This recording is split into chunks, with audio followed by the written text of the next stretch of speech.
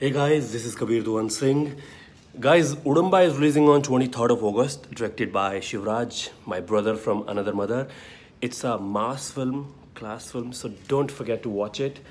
And uh, all the best to the hero of this film, Pawan, brother. Congratulations on your debut. Best wishes to the entire team. Don't forget to watch and rock it, guys. See ya.